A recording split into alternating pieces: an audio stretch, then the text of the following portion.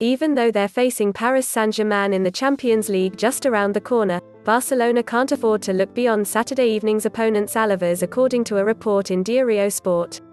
They welcome the Basque side to the Camp Nou for an 8 o'clock kickoff GMT.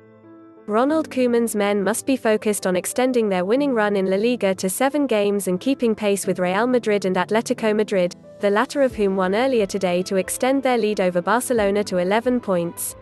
Sevilla are also playing on Saturday afternoon, and depending on the result could leapfrog Barcelona into third.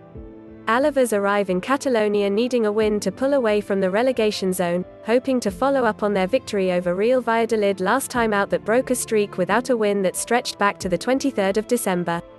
Barcelona, who will want to bounce back from their 2-0 defeat at Sevilla in the Copa del Rey midweek, must be wary.